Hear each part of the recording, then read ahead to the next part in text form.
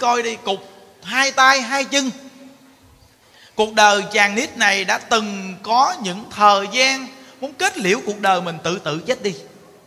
Và nhờ chàng nít này coi được lịch sử, coi được được những người tặc quyền mà đứng lên, chính bản thân mình đứng lên được, chàng nít này đã có đủ dũng khí để phát minh chính bản thân mình, làm được những việc mà không thể nào tưởng tượng được.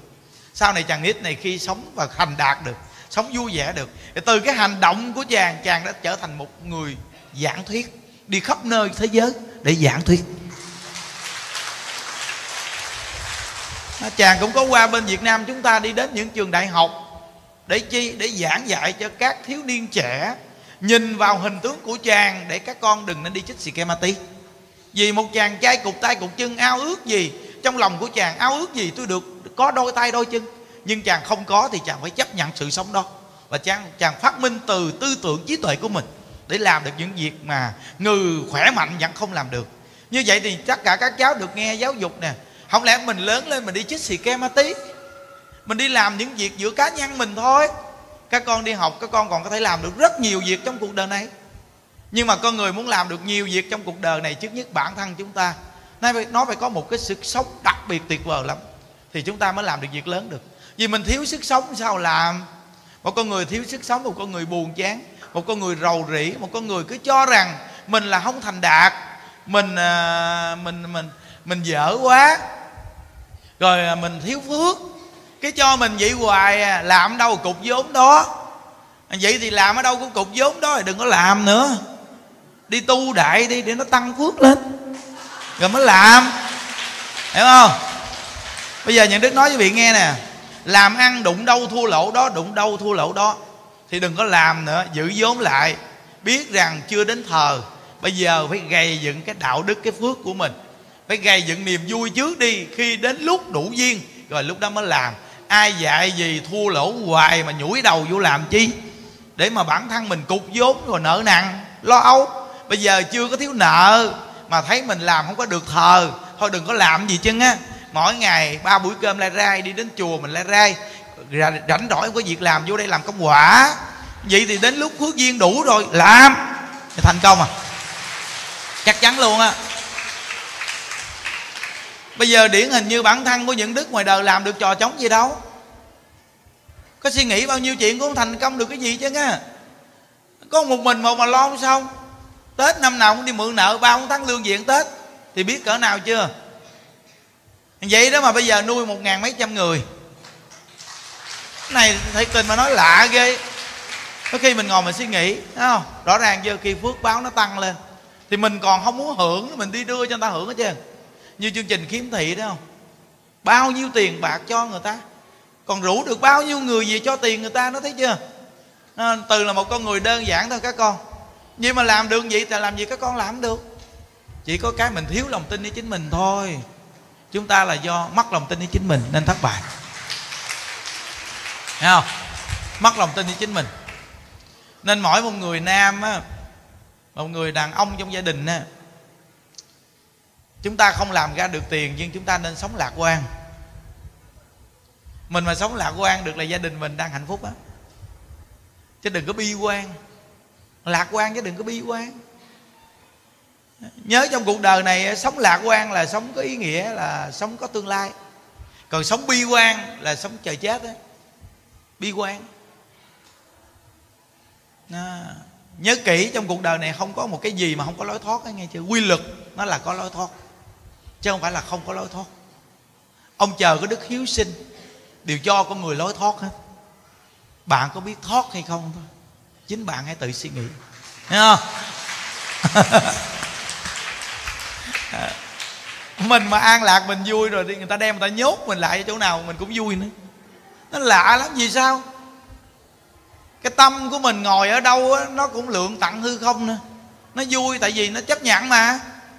Đó, cái chấp nhận quan trọng. Hiểu không? À. cái chấp nhận nó rất là quan trọng. Nên tại sao có những người phụ nữ có bầu đẹp lắm? Nhưng có những người phụ nữ có bầu rất là xấu. Như cô kia cô có bầu cô đẹp. Sinh con ra đẹp thấy không? Tại vì sao? Cô niệm phật cô cười cô vui hoài. Nên khi cô mang bầu cô rất là đẹp. Cái tâm từ của cô nó làm cho con cô nó đỡ đụng chạm cô. Còn khi mình mà có bầu mình à, mình lo âu chuyện này chuyện kia mình sợ chồng đi sớm về muộn mình gầu gỉ mà không biết chồng có đi có vợ bé vợ mọn gì không? Rồi mình rầu rĩ rồi, rồi giết rồi mình xấu xí cái thời gian có bầu nên có những người phụ nữ có bầu rất là xấu. Mình có bầu á, mình cũng phải mua đồ bầu, đồ mình bận cho nó đẹp. Mua đồ có bông, có hoa, đồ bận cho đẹp. Để bản thân mình vui, để sanh con ra đẹp. Chứ mình đừng có mà kiểu mình có bầu mà mình đi mua đồ bạn đồ cũ kỹ, đồ đồ xấu xí. Mình có bầu nhưng mà mình vẫn làm sao gọn ghẽ, mình vẫn sạch sẽ, mình vẫn đẹp. Để làm chi? Để sanh con ra đẹp chứ mình đừng có để mà nghĩ mình mình có bầu bì rồi. Thôi bà thí đại đi. Nó khi mình có bầu mình cũng ngồi đâu ăn đứng đâu ăn đi đâu ăn cũng phải đàng hoàng. Và mình thường cười suốt vậy đó. Nó, chồng hỏi ủa sao tôi thấy bà có bầu và cười tối ngày bộ? Bà có gì tôi đưa bà đi bệnh viện khám. Mình nói là em cười cho nhiều để con của mình sau này nó cười nhiều anh nè à. thấy không? Đó mình nói một câu người ta nghe, đàn ông người ta nghe, người ta cũng thấy yên tâm. Nó bây giờ vợ ở nhà bầu bì, ông đi làm đồ á, đi đâu cố gắng tranh thủ về một chút, ha. Nên là có gì còn có đàn ông, giải quyết chuyện trong nhà. Chứ đừng có ờ, lúc như bình thường đi đâu đi, quên cả lối về. Còn bây giờ thì vợ có bầu bì, đi đâu thì tranh thủ về. À, nói một câu vậy thôi, người ta hiểu rồi, hiểu chưa chứ gặp mà nhằn nhằn nhằn nhằn, đàn ông khó chịu vụ này lắm. Nên mấy cô mà nghe lời những đức đi chồng ta thương lắm. Đừng có nhằn nhằn nhằn nhằn, nó mệt mỏi lắm. Đàn ông ta thích cái gì nói đại một câu thẳng thắn đi rồi xong. Chứ đừng có nhằn nhằn nhằn nhằn. Hỏi đon hỏi ren hỏi mây hỏi gió hỏi chuột hỏi mèo. Nó mệt mỏi dữ lắm quý vị. Ô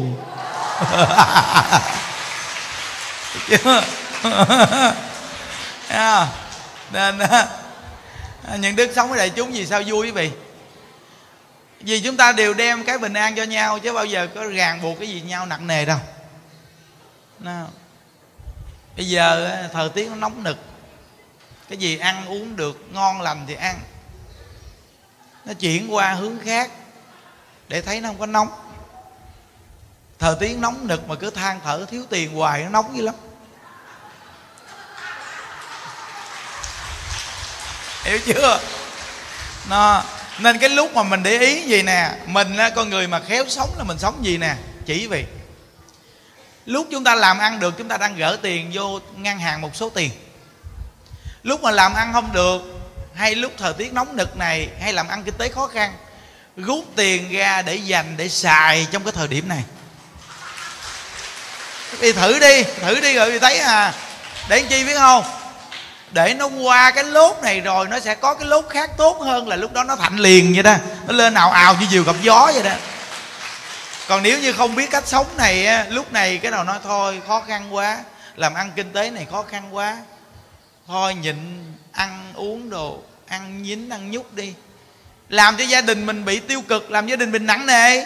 Vậy thì từ cái thời gian đó nó đi đến cái công đoạn để thành công á, thì con người nó tiêu cực luôn, nó không phát được còn cái thời điểm mà đang làm không được mình phải rút tiền ra để mình xài.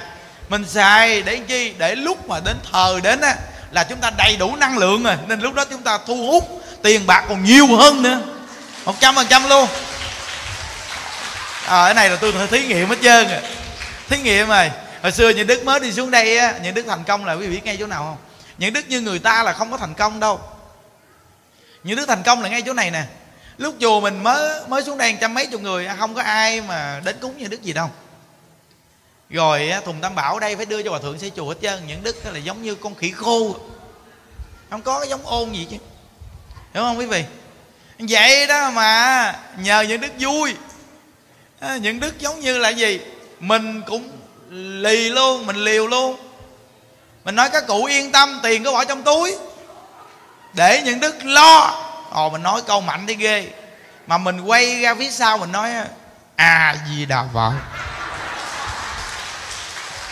hiểu không? Rồi bắt đầu ai cúng nhà đức được một chút. Bắt đầu nhà đức nói, bữa nay nấu lẩu ăn. Ghê không? Cái người bên cạnh như đức nói, trời ơi, ông là ông. Được có một chút mà để dành ăn vài ngày. Những đức nói, vài ngày thì cũng hết. Chơi bữa nay biết đâu ngày mai có. Rồi không? Những đức hơn người chỉ đúng con cái là lo cho chúng chứ không phải những đức chơi tầm bậy. Như quý vị ngoài đời thì quý vị đem đồng tiền quý vị đi ăn nhậu bê tha. Cái này là quý vị cá nhân quý vị sao có phước? Còn những đức đây là nuôi các cụ già những đức lo cho chúng. Nên có một cái là những đức muốn an tâm chúng những đức nấu nồi lẩu. Mấy bà già mới nói ông này có tiền chứ không phải là không có. Thấy không? Có tiền chứ không phải là không có đâu. Vừa nấu lẩu ăn ngon xong cái tự nhiên cầm tiền lại mấy bà mấy mấy mấy, mấy bà mới kéo tiền ra cúng dường. Tại vì bà thấy nấu lẩu cho bà ngon. Bà đem tiền lên cúng cái mình nói ngày mai ăn bánh ướt. Ghê chưa? Ăn xong cái bà, bà nói công nhà ông thầy này ổng có tiền chứ không phải không có đâu nghe ông lo được không bây giờ đâu nghe. Cái ăn xong cái vui quá cái đem tiền lên cúng nữa. Cúng nữa nhưng đức lấy tiền đức làm nữa làm hoài. Vậy đó mà từ từ ai cũng nghĩ như đức là người có tiền chứ thật sự không có tiền. Ghê không? Đây là một trăm phần trăm luôn mà phải làm đúng nơi đúng chỗ nghe, mình vì người ta thì mình thành công ghê lắm.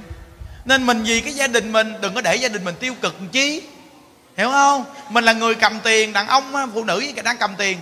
Thì trong cái thời điểm khó khăn, mình phải đem đồng tiền dư ra. Đồng tiền mà trong ngân hàng nhiều rút ra bớt. Để xài.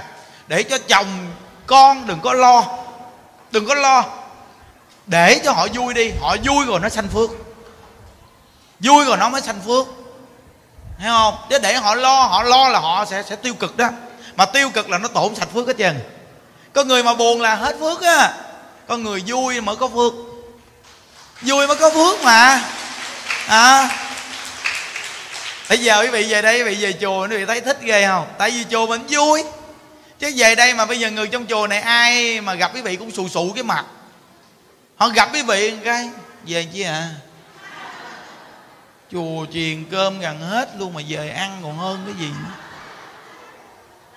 Vậy thì ai về đây? Vậy thì quý vị ở đây chết queo hết trơn, khỉ khô. Nhưng mà mình ở đây tích tụ được một nguồn năng lượng tuyệt vời ghê. Người ta về đây, người ta được vui nè. Thì người ta vui, người ta đâu có phụ phàng tình mình đâu. Hiểu không? À hay chưa? Công nhận hay chưa? Đó, nên mình là ông chủ lớn á là góc độ phải sâu. Chúng ta có con người là có thiên hạ, yên tâm đi. Khi mà công ty hay là có dịch bệnh gì đó, chúng ta lấy tiền dư ra mình chơi với nhân viên. Ồ, con người vậy mới là con người, sau này làm chủ lớn hơn. Mình lo cho nhân viên đi, sau này nhân viên khi mà trở lại bình thường nó không có bỏ mình. Mà nó làm việc với mình, nó còn cực lực hơn nữa. Lúc đó gom lại lo cho con người phước báo tăng. Phước báo đã tăng rồi sao sự nghiệp đi xuống lại? Còn mình cái lúc dịch bệnh này, này kia mình không phát lương cho người ta bớt người làm. Mình chặn bớt con cái đầu sống của người ta. Con người người ta nó bị khổ đi. Mà mình vẫn còn mà mình sợ lo. Cuối cùng mình hết phước. Sự nghiệp mình mới tan tành nên chúng ta khi nhân viên làm việc cho mình khi khổ mình phải giúp người ta. Nhà có hậu sự bệnh hoạn giúp đỡ. Nhà có cha mẹ mất đi lo hòm gương bản thân mình như vậy đi, người ta làm cho mình, người ta sẽ làm bỏ mạng. Thì mình mới thành đạt hiểu chưa? Rồi một trăm phần trăm luôn, người ta không dám làm chỗ này. Chứ nếu người làm việc lớn là nên có góc độ này đi. Thì quý vị sẽ là người tồn tại lâu dài dữ lắm, đặc biệt lắm. Nó, thì những đức đứng lên cũng từ góc độ đó mà ra. Nên mới hướng dẫn quý vị chứ đâu phải nói đại nói càng đâu. Cái gia đình mình mà mỗi ngày cứ lo buồn hoài sao mà thành đạt được? Ờ, gia đình có hai người, ba người mà sợ gì? Ta cả ề đây con không sợ đói mà lo gì? À. À. quý vị ờ, ví dụ như, quý vị, ví dụ như tuần từng nào hết gạo lỡ đây? Lấy gạo đem về nấu. Sao đâu hết gạo lấy nếp. Có gì chia nhau ăn nấy ơi, sống vậy nó hạnh phúc vô cùng. Nặng nề chi cho nó mệt. Mấy vị gặp ông thầy vậy thấy cũng thoải mái ghê ha. Thoải mái nó vỗ tay hoài à. Không thoải mái đâu vỗ tay đâu đúng không? Đó, nên ở đây mà bây giờ, thứ bảy, chủ nhật quý vị không về, thấy buồn không? Buồn. Buồn nhưng mà nói một câu rất ăn tình nha quý vị không về những đức cũng buồn.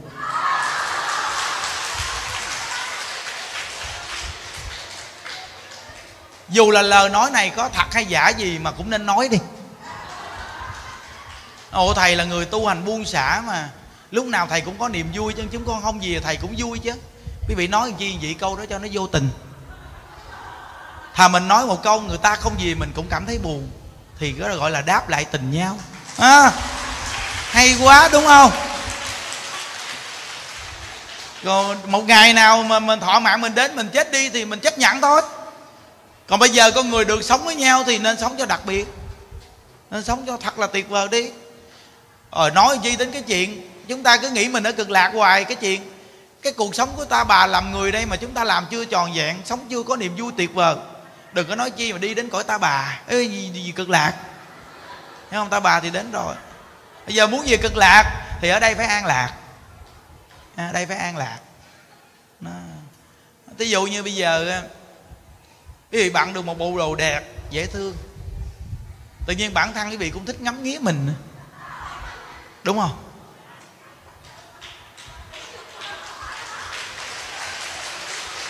Đúng không? Vậy thì giờ mình nghe đạo thì sao mà coi mình được một chút chứ? Coi bộ đồ nào đó lâu lâu mình cũng thay đổi ờ, thời trang một chút. Coi coi có được không? Rồi coi được một chút. Nghe không?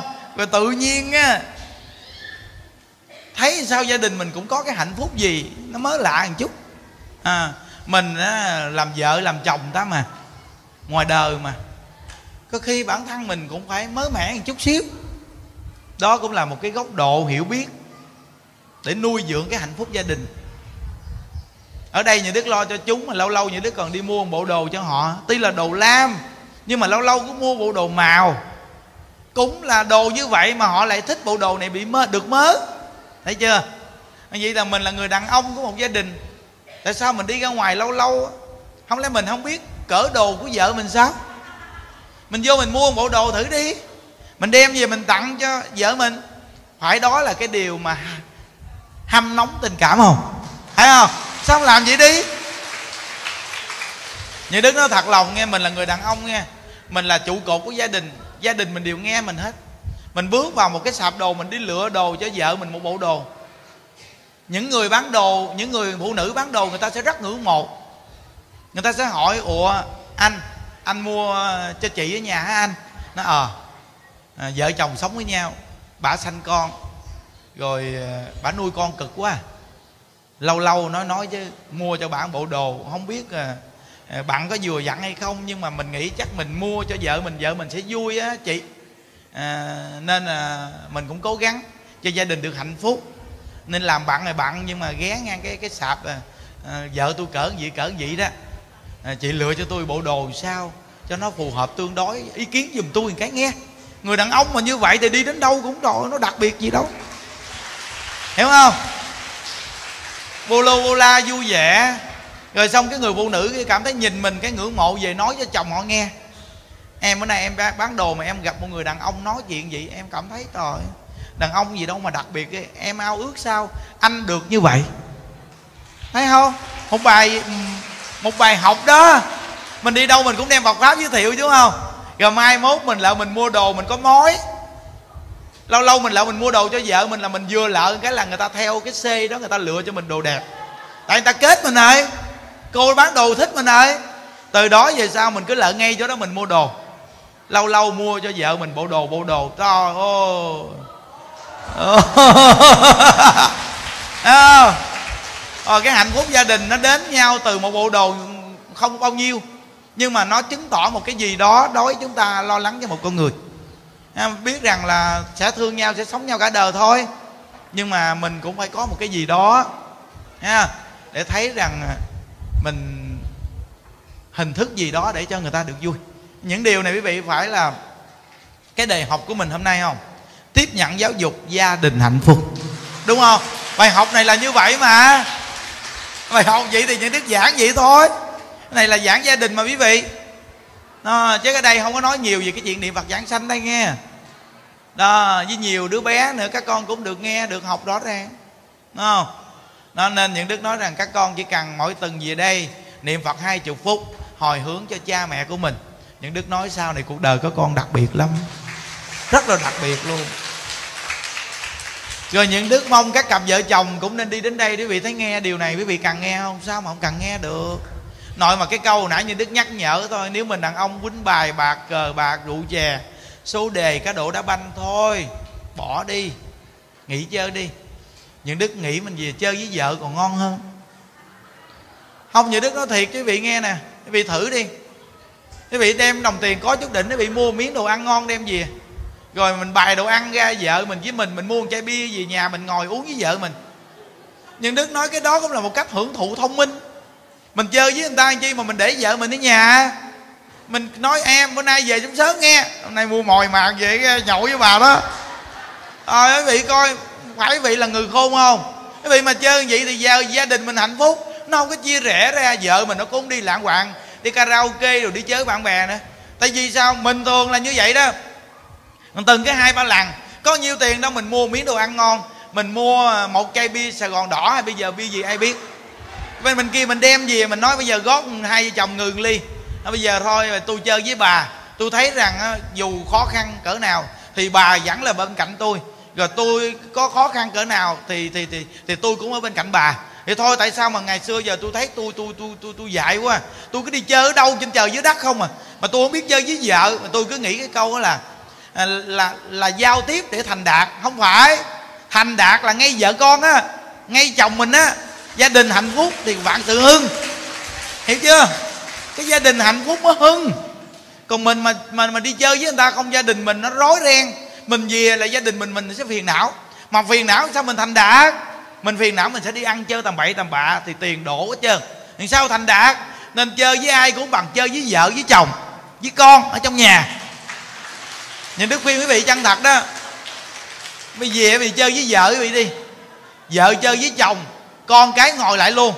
Ăn ngon, vợ chồng sống với nhau vậy ăn xong rồi dọn chén xuống, vợ chồng cùng rửa chén. Ôi nó hạnh phúc gì đâu. Sao không làm đi? Cứ làm đúng vậy đi, thử hạnh phúc cho vị thấy à. Chính những đức đi tu mà cứ khi ngồi với các thầy, các chú, các cô những đức thấy những đức hạnh phúc ghê. Ngồi ăn uống chung đi đâu xa làm chi? Tới ngày đi đâu cơ khơ làm gì?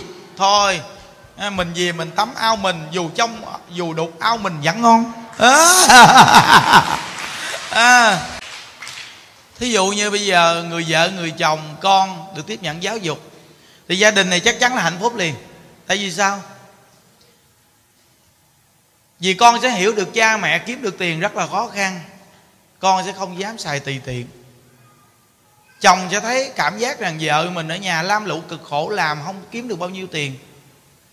Làm vợ mình từ khi gì làm vợ mình tới bây giờ, vợ mình đã được hạnh phúc như thế nào? Mình là một người đàn ông mà đã cho người ta được hạnh phúc gì? Khi người ta về, người ta làm vợ mình. Mình nên nghĩ điều đó, mình đàn ông mình nên nghĩ điều đó một chút.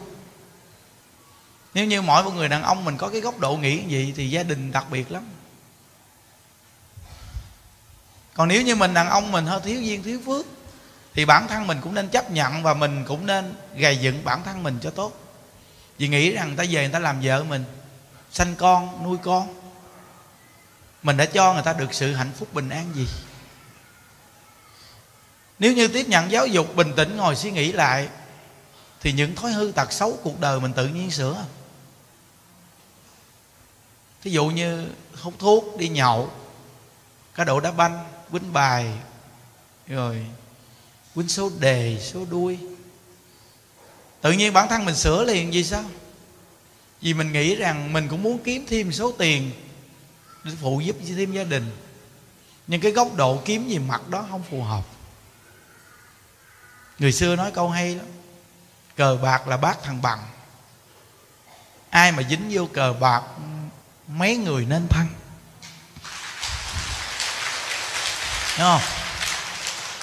Mà thật sự thì vợ con mình cũng không muốn mình làm điều đó đâu. Dù là mình nghèo một chút, nhưng mà mình lành mạnh đi. Người phụ nữ ta vẫn thấy bình an khi nương tựa một người đàn ông như vậy. Chính bản thân những đức học phật là những đức thấy rằng là những người đi đến với mình mình cảm thấy mình trao cho nhau cái bình an quý vị đi đến đây mà quý vị còn hưởng được bình an với người ở đây. Đúng không? Tuy là cõi đời này, nó không có tròn vẹn. Nhưng chúng ta cũng làm cái gì đó đối với con người, với con người đến với nhau. Vì chúng ta có cái duyên gặp nhau trong cuộc đời này. Đừng nên làm nhau bất an. Đừng nên làm nhau sợ hãi. Mà hãy tạo cho nhau cái bình an đó là cái hạnh phúc nhất trong cuộc đời chúng ta.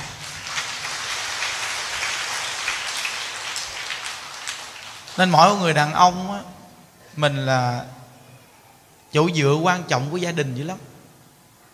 Chúng ta dù đi ra ngoài làm ăn cái gì mình nên rõ ràng chút. Thí dụ như ờ, mình tạo lòng tin cho người phụ nữ người ta tự nhiên ờ, mình đi làm ở đâu người ta cũng mong mỏi mình về.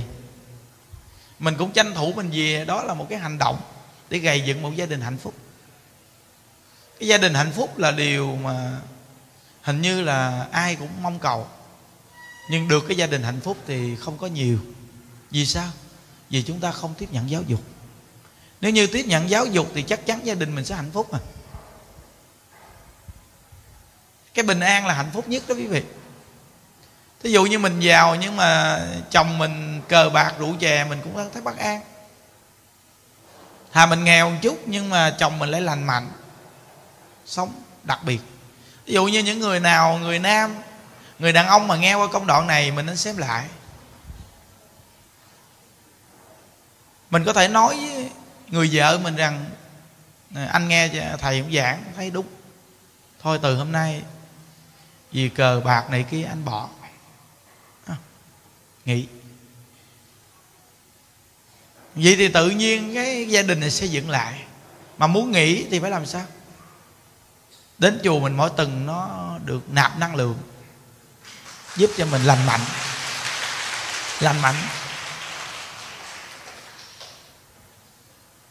Nên mỗi một gia đình nó có hạnh phúc cỡ nào đi chăng thì nó cũng sẽ có cái mà rầy ràng chút, nhưng không đáng kể nhưng mà sống để thông cảm và để hiểu nhau thì việc này nó hay lắm. Mình càng học phật rồi mình mới thấy rằng sống trong cái cuộc đời này, chúng ta nên thông cảm cho nhau. Vì ai cũng có cái khó. Chồng có khó của chồng, vợ có khó của vợ. Con đi học có cái khó của con. Đừng có bao giờ cho rằng là chúng ta là người khó và khổ nhất. Họ sung sướng tại sao chúng ta không mừng cái họ sung sướng? Nếu như mình có cái tâm vậy thì đặc biệt quá. Những đức nói với trong chùa rằng, chùa mình hơn một ngàn người. Những đức nói rằng, quý vị khỏi cần phải bận tâm nặng nề. Hãy làm những việc gì trong chùa quý vị có thể làm được đi. Còn tất cả những việc lo cuộc sống, tất cả việc ở trong chùa để những đức giải quyết dùm cho. Những đức làm quý vị khỏi cần lo. Đúng không? Thì sao mình là đàn ông, bây giờ mình có một người vợ, Một hai đứa con, Mình không nói câu nói đó. Nếu như mình nói câu nói đó một cái thì Cảm thấy người ta là điểm nương tựa bình an quá.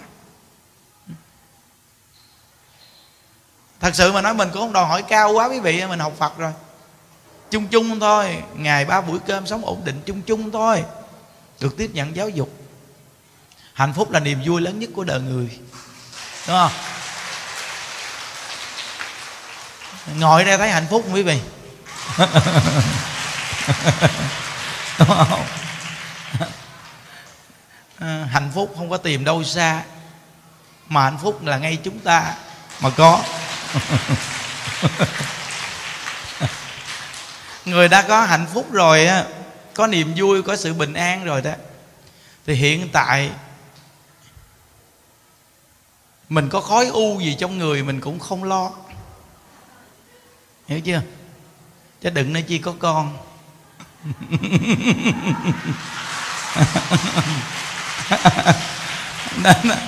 Cái cô cô nói câu hay ghê. Cô nói từ khi mà con biết thầy, con cảm thấy bình an. Đi khám bệnh, bác sĩ nói, con có khối u trong cơ thể. Con nghe thầy giảng, thầy nói cây đu đủ nó nhỏ gì? Mà nó có rất nhiều trái mà cây đu đủ chịu giông gió bão tố.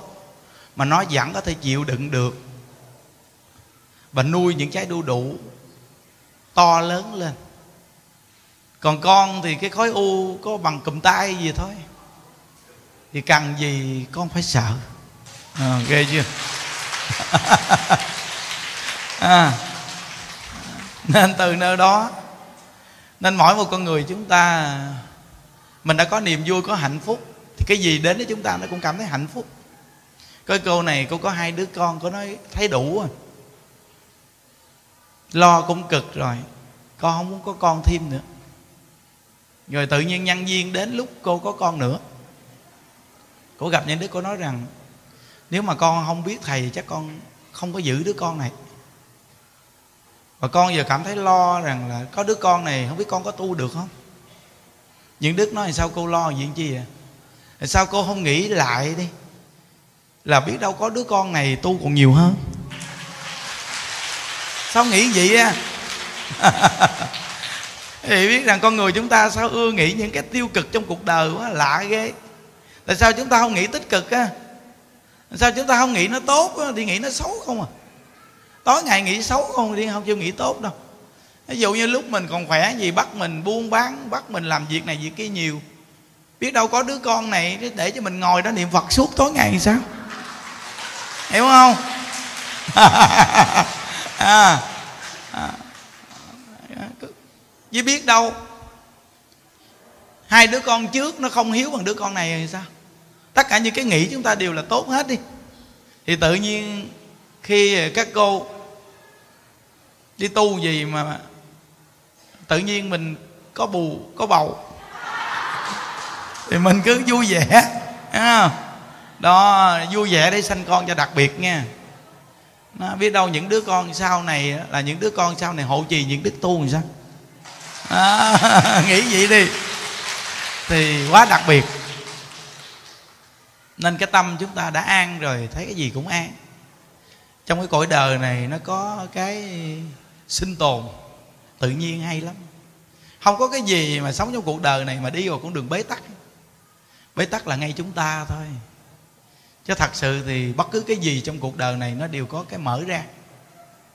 Ngay cái mình nó mở ra ngay mình. Đóng cũng ngay mình mà mở là ngay mình. À.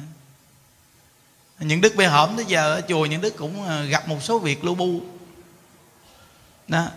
Nhưng mà những đức à, thoát ra khỏi cái là giống như tăng trưởng cảnh giới tu hành. Không? Nên thấy cái gì cũng tốt, ghê, đặc biệt vô cùng. À. nên chúng chùa tự nhiên ai cũng thấy yên tâm và bình an. Tại vì sao?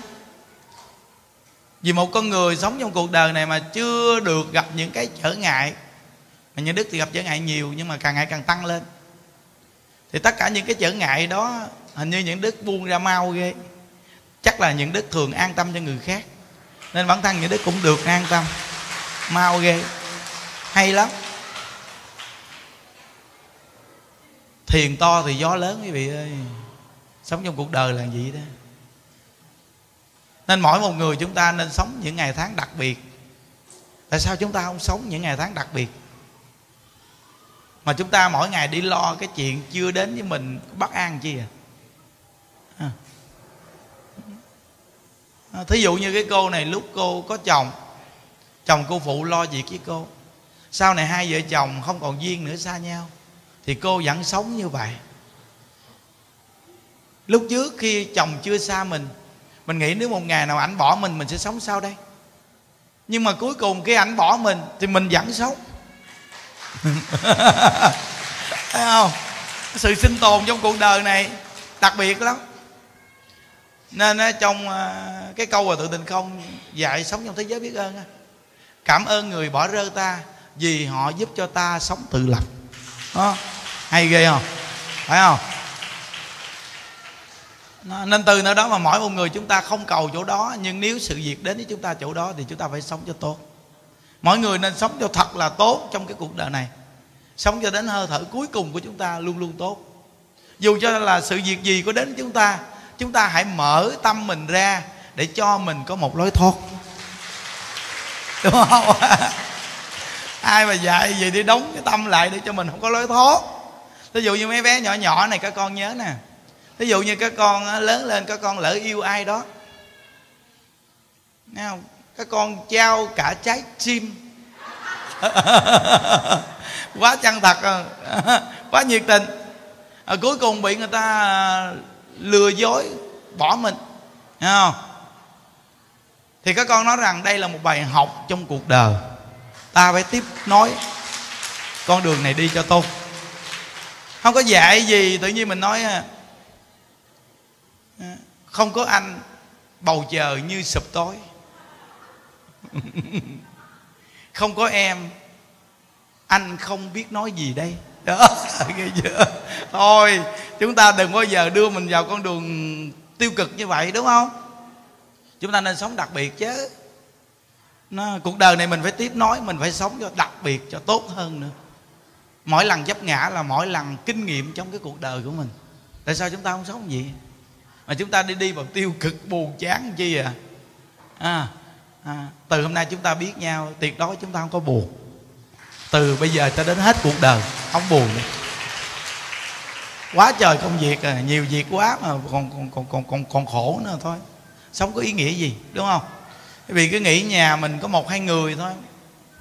Còn những đức mỗi ngày ngàn mấy trăm người vì nghĩ đơn giản không? Không đơn giản mà những đức còn có cảm giác đặc biệt. Những đức không cảm giác đặc biệt sao những đức làm được những chuyện này? Những đức còn chịu rất nhiều áp lực chứ không phải giỡn đâu. Mỗi người đều có áp lực. Chúng ta mỗi người sống trong cuộc đời này mỗi người đều có áp lực sức ép trong cuộc đời này rất là cao chứ không giỡn đâu. Chúng ta phải sống làm sao mà đừng có bị nó ép.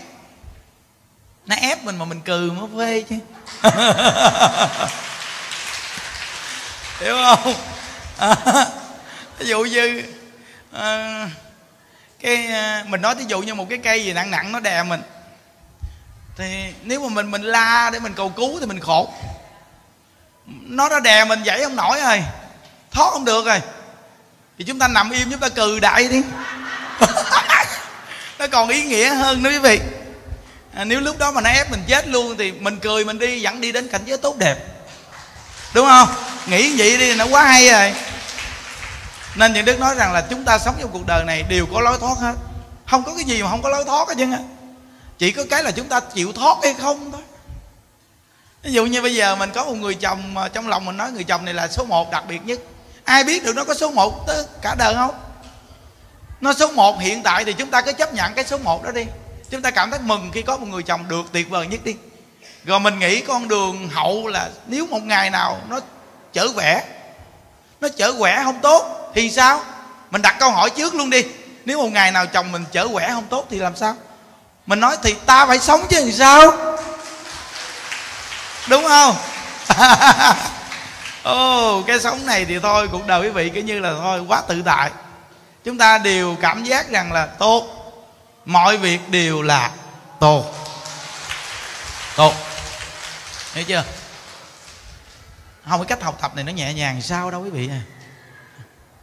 Chắc nó đi đến cảnh giới tự tại. À, nên những đức nói với mấy thầy làm việc cùng với những đức những đức nói tốt cái gì cũng được hết. Như thế nào cũng tốt hết. Ai phiền não kệ người ta còn bản thân mình phải sống làm sao đặc biệt. Đúng không? Đó. Vậy thì quý vị về đây nó tích tụ được cái nguồn năng lượng. Giống như giờ những đức giống như là à, đường dây chính phát điện. Đường dây chính phát điện. Đúng không? Nếu mà cái đường dây chính phát điện này mà nó nó nó nó yếu điện, thì làm sao phát cái đường dây phụ? Mình phải nghĩ mình là đường dây chính phát điện để mình tích tụ điện cho nhiều. Để mà ai về đây mình cũng chia cho người ta một miếng điện. Hiểu không? Điện là năng lượng đó quý vị. Khi chúng ta có năng lượng rồi, quý vị thấy gương mặt tươi rói chưa? Giống như chị thư từ khi mà xa anh chính tới giờ chị thư càng ngày càng đẹp. Đúng không? Tuy lo cho con nhưng mà được đi tu hành rồi cũng không ai chối buộc mình. Không mà nói gì cho mấy bà mấy bà cũng đừng học theo người ta nghe chợ. Tại vì cái đó là cái duyên nợ của người ta. À, thấy không? Duyên đến thì tiếp nhận mà duyên hết thì xa nhau. Trong cuộc đời nó là như vậy nó đều là quy luật mà nên đức phật chỉ mình là con người không chấp nhận quy luật này nên mới đi vào cái chỗ ái biệt ly khổ. Quán tăng hội khổ là quán thù gặp nhau khổ. Ái biệt ly khổ là thương yêu quá mà xa nhau khổ. Cầu không được khổ là cái cầu mà mà mà không được như ý mình khổ. Không vừa lòng, không vừa ý, chết giờ chết người là khổ. Nên từ nơi đó phật mới nhắc mình là thương yêu nhưng xa nhau là hết duyên, hết nợ. Đừng nên khổ. Nên phật nói rằng là ái biệt ly khổ là đa phần con người đều ái nhiễm rồi khổ. Rồi đi đến cái chết cả đời thương yêu nhau, nhiệt tình lo cho nhau mà đi đến cái chết là khổ. Bây giờ mình là người học Phật, mình quy lực, mình hiểu là đi đến cái chết là chấm dứt một đời người trong cõi này khi chúng ta gặp nhau. Thấy không? Rồi tiếp nói bản thân mình phải đi đến chỗ đó. Có nghĩa là mỗi tầng lớp của con người từ xưa tới nay, chúng ta đều không tránh được cái quy luật sanh diệt.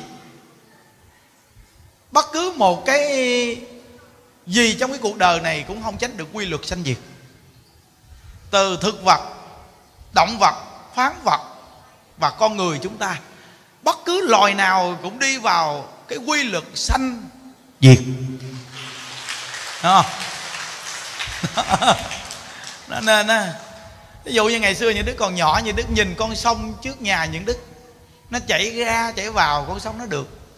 Nhưng mà thời gian đi qua con sông vẫn là con sông, nhưng nước nó cạn queo. Nó theo quy luật sanh diệt. Rồi chúng ta đã từng nhìn một cái cây nào xanh tươi vô cùng. Vài ba năm sau chúng ta nhìn cái cây đó khô queo và đi vào cái chết. Nên cái quy luật của thực vật, động vật, khoáng vật nó đều sanh diệt hết luôn. Vì con người chúng ta cũng không tránh khỏi điều này. Vậy thì tại sao chúng ta không sống những ngày tháng cho nó đặc biệt, cho nó tuyệt vời? Và làm những việc gì ý nghĩa trong cái cuộc đời mà mình đang được sống. Đúng không? Nên những cô trưởng đoàn nè, những người dẫn đi tu nè, rồi các cháu được đi đến chùa nè, mọi người chúng ta được ngồi đây, mình cảm thấy mình hạnh phúc quá. Tại vì giảm vô tay lại đi. Nhớ nè. Tại vì chúng ta cảm thấy rằng mình rất là hạnh phúc. Nếu như mà giờ này nguyên cái số lượng người này đang ngồi ở đây mà nó đặt mình đi vào một cái vị trí khác, đó là một cái quán ăn mà đồ mặn, thì nguyên một cái dàn người chúng ta đang ngồi đây và ăn bao nhiêu con vật nó sẽ chết trong cái số lượng con người này đang ăn nhưng mà cái hoàn cảnh đó nó đặt lại cho chúng ta đang ngồi ở đây để nghe đạo. Thì tự nhiên mình thấy rằng không có con vật nào chết vì mình mà mình lại còn nghe đạo và có được cái bình an nên đây là cái hạnh phúc rất là lớn. Đúng không? Nó rõ ràng luôn. Đó, nên mình thấy rằng cái hạnh phúc gì này rồi mình nên trân quý cái hạnh phúc gì. Nhưng mà có những người người ta ngồi ở đây mà người ta lại không chịu ngồi đây. Người ta có thể đi ra ngoài kia người ta ngồi bấm điện thoại một mình hoặc ta đi lỡ gốc cây nào ta ngồi lạ vậy đó? Bây giờ nếu kêu những đức chọn những đức nói ôi chỗ nào đông người người ta ngồi gì tôi lỡ tôi ngồi cho nó vui. Chứ dạ gì đi ra ngoài chỗ nào ngồi mình chi? Ngồi mình dễ bị ma dược. À, mình một mình ma mới dược mình. Ví dụ như người ta ăn hiếp mình là do mình một mình á. Chứ nếu như mình đoàn kết mình là một đoàn thể đoàn kết không ai mà ăn hiếp mình. Nhưng đức nói nè tất cả các cháu nhỏ con nhớ nè một cái đất nước mà đoàn kết, không có ai dám xâm phạm đến đất nước đó chứ. Dù là một đất nước nhỏ, người ta cũng không dám xâm phạm nữa. Một đất nước mà từ trên tới dưới đều đoàn kết, đồng lòng, không có ai dám xâm phạm hết. Một đất nước mà người ta dám xâm phạm là đất nước đó nó có chỗ hở người ta mới dám xâm phạm. Ví dụ như những đứa coi lịch sử trung hoa, một đất nước lớn vô cùng mà tại sao nhật nó dám xâm phạm? Vì sao? Vì nó nắm ngay đầu não. Những người ham tiền, bỏ tiền ra mua chuột, cuối cùng nó mới xâm nhập đất nước đó. Nó khuyết là do ngay chỗ nào? Không nhìn ra cái con đường rộng của một cái xã hội lớn. Chúng ta đang sống trong một xã hội lớn, chúng ta không thể nào đầy đủ giữa cá nhân chúng ta được đâu. Có nghĩa là chúng ta phải trang trải ra cho tất cả mọi người, ai cũng có được cái hạnh phúc đó, thì ta sẽ gầy dựng hạnh phúc đó được lâu dài nếu như chúng ta chỉ biết bản thân mình hạnh phúc và mình được đầy đủ còn mặc kệ người khác làm sao làm sao bản thân chúng ta sẽ không bao giờ có được hạnh phúc tồn tại lâu dài. Nên người có góc độ trí tuệ là người biết nhìn cho xã hội hạnh phúc. Đó là nền tảng để cho ta được hạnh phúc. Nhớ nghe các con nhớ nghe các con. Lớn lên á, đi học á, phải nhìn nhận chỗ này. Như cuộc đời bác hồ hạnh phúc lắm. Tại vì bác hồ ngày, ngày, ngày cho người ta được hạnh phúc ngày cho người ta được hạnh phúc nên bản thân ngài rất là hạnh phúc. À, mình thấy bác hồ tuổi về già, bác hồ ngồi, ngài nói một câu rằng, cuộc đời tôi mong mỏi làm sao cho đất nước chúng ta được thái bình, nhân dân chúng ta được sống tốt, an cư lạc nghiệp. Tất cả những cháu nhỏ đều được đến trường đi học, không bị bù chữ còn tôi khi lớn tuổi, chỉ cần một căn nhà tranh bên cạnh đó có một cái ao cá, sống như ngày tháng như một ông già bà cả. Mỗi ngày sống nhân sinh cảm thấy đó cũng đủ rồi, còn danh lợi tôi không cần đến. Phải không? Nó con người vậy thì quá tuyệt vời. Đều đem tất cả chắc xám của mình để mà cho tất cả người được nhờ. Nên người ta mới nói câu là muôn đời nhớ ơn bác. Một con người cũng là một con người như mình họ cũng là hai con mắt, một cái lỗ mũi, một cái miệng, một cái bản thân như chúng ta. Mà là người ta lại làm một cái chuyện vô cùng phi phi phi thường. Còn bản thân mình lại đi đến đây, có những người còn trẻ lớn lên đi hút chích xì ke ma tí chúng ta tại sao không bình tĩnh suy nghĩ lại? Chúng ta còn làm được nhiều việc lắm. Chỉ cần chúng ta bình tĩnh, chúng ta sống tốt, sống vui là chúng ta làm rất nhiều việc trong cuộc đời này. Trước nhất là chúng ta nên sống cho đặc biệt trước nè, rồi mới làm được việc lớn đó là sống cho vui rồi sống cho có ý nghĩa trong mọi hoàn cảnh. Từ nơi cái hành động cái tâm đó của mình mình mới làm được việc lớn. À sinh nhật hôm nay 11 người nghe. Nhớ nè sinh nhật không phải đòi quà của cha mẹ mà là sinh nhật á, để chúng ta tưởng nhớ đến công ơn cha mẹ. Nếu như sinh nhật mà đòi quà của cha mẹ là người này tổn duyên tổn phước ngày đó mẹ mình sinh mình cực khổ mà mình ngày nay sinh nhật còn đòi mua đồ ăn này đồ ăn kia đồ ăn nọ. Hoặc là ngày sinh nhật á, kêu cha mẹ đưa tiền để đãi bạn bè. Dại quá. Ngày sinh nhật là ngày mẹ sanh cực khổ mà chúng ta còn làm gánh nặng cho mẹ cho cha. Sai rồi. Đúng ra các con phải khôn ngày sinh nhật của mình. Các con để dành tiền trước thời gian đi học một chút đỉnh tiền. Các con hãy tự mình đi lỡ cái tiệm bánh kem mua một cái bánh kem nho nhỏ dù là không được ngon nhưng về chính đôi tay các con cắt bánh kem này về chia cho cha cho mẹ chia cho anh cho chị. Rồi nói rằng con cảm ơn cha mẹ nhờ cha mẹ sinh con ra mà hôm nay là ngày mà sinh nhật của con ngày con được sinh ra đời. Mẹ rất là cực khổ sinh con cha thì lam lũ cực khổ để nuôi con.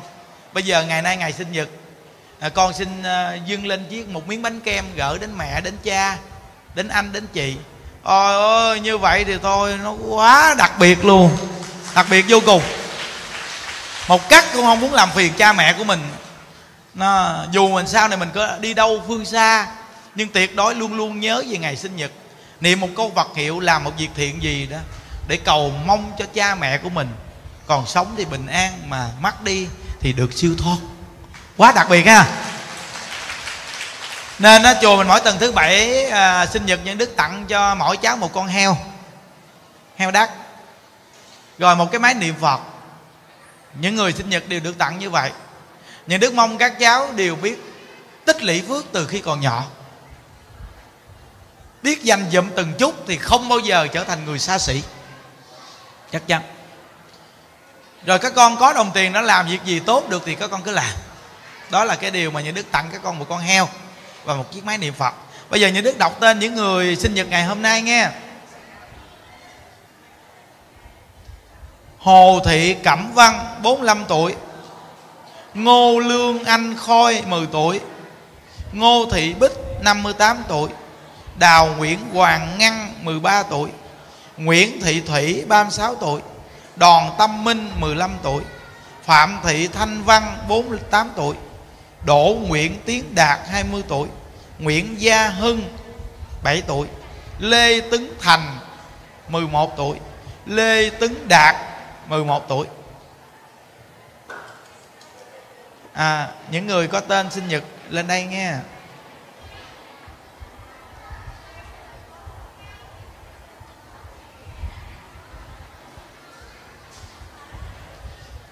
À, sinh nhật ở chùa chúng ta càng ngày càng đông nghe. À, thấy cũng vui. À, thấy ý nghĩa ý nghĩa vô cùng. Mình nên nhắc tất cả các cháu ngày sinh nhật nên trong một tuần đến nên đến ngày thứ bảy không phải là ngay ngày này là sinh nhật nhưng trong tuần đó sẽ đến đây ngày thứ bảy được được nhà chùa tặng cho quà. Các con nhớ cái máy niệm phật này qua quan trọng lắm nè. Rất là hay luôn. À, rất là hay các con cứ đeo máy niệm phật đi con sẽ thông minh. Rồi đi sinh nhật như đức nói rõ ràng hết rồi đó. Bây giờ chúng ta chắp tay niệm phật 10 câu nè để hồi hướng cho cha mẹ của mình nè nghe. Thành tâm chân thật nè. A di đà phật a di đà phật a di đà phật a di đà phật a di đà phật a di đà phật a di đà phật a di đà phật a di đà phật a di đà phật a di đà phật. A di đà phật. Đây. Ừ. Đây, con đứng đây đi con. Đây. Được quay phim. Đây ai di đà phật. Ai di đà phật. Ai di đà phật. Ừ. nè con trai. Đây.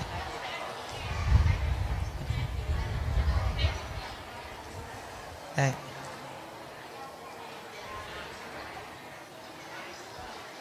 À, hôm nay à, có mấy cô à, đem nước đến à, gì? Nước đông trùng hạ thảo hả?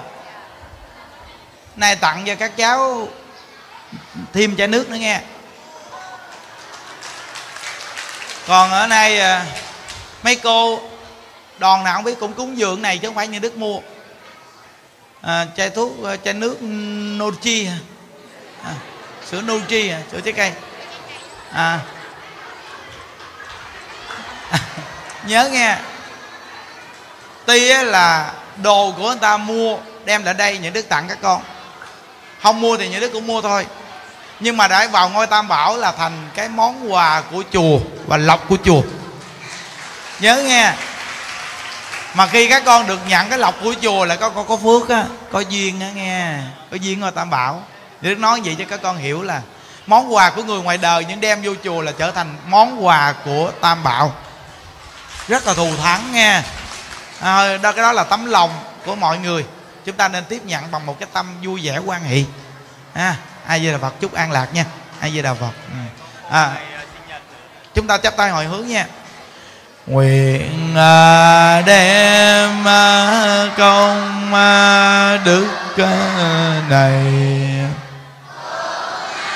về khâm tất cả đệ tử và chúng sanh đồng à, sanh à, về tịnh à, độ. À, chùa chúng ta mỗi tuần thứ bảy có lớp đạo làm con. Các cháu khi học tập xong có lễ phóng sanh. Nên là nguyện tam bảo gia hộ cháu nào về chùa mình nhờ cái phước này mà các cháu được khỏe mạnh ngoan biết nghe lời cha mẹ. À, chúng ta nguyện đem cái công đức này Quyền hồi hướng cầu an trên là hòa thượng viện chủ và toàn thể đại chúng. Và nguyện đem công đức này nguyện hồi hướng cầu siêu cho cụ quyền thất tổ. Ông bà cha mẹ anh chị em trong đời này nhiều đời nhiều kiếp. Và hương linh thai nhi vì nghiệp phá thai à, tất cả những người mắc chưa được siêu thoát đều được hưởng công đức này. À, và chúng ta hôm nay làm lễ phóng sanh. Nhờ cái công đức phóng sanh này à, à, giúp cho chúng ta trưởng dưỡng lòng từ. Những đức đường thường dạy các cháu con ruồi con mũi con kiến mình cũng không dám giết nghe chưa? Mình giết nó đau cũng như mình đau vậy đó. Mà mình giết nó là mình không có tốt mình không có hiền đâu không có dễ thương. Nên à, biết thương con vật là mình dễ thương mình có tâm từ bi thì mình sức khỏe tuổi thọ kéo dài. Bây giờ chúng ta đọc tam quy y này các con. Quy y phật không đọa địa ngục quy y pháp không đọa ngạo quỷ quy tăng không đọa hàng sanh quy vật phật không đọa địa ngục quy pháp không đọa ngạo quỷ quy tăng không đọa bàn sanh quy phật không đọa địa ngục quy pháp không đọa ngạo quỷ quy tăng không đọa bàn sanh. À, chúng ta đồng niệm phật để thả chim này các con. A di đà phật a di đà phật a di đà phật a di đà phật. A di đà phật a di đà phật a di đà phật a di đà phật a di đà phật a di đà phật a di đà phật a di đà phật a di đà phật a di đà phật a di đà phật a di đà phật a di đà phật a di đà phật a di đà phật di đà phật a di đà phật a di đà phật nguyện đem con đức này hướng về công tất cả đệ tử và chúng sanh, đồng sanh về tịnh an à, chúc toàn thể đại chúng an lạc vui vẻ nha. A di đà phật.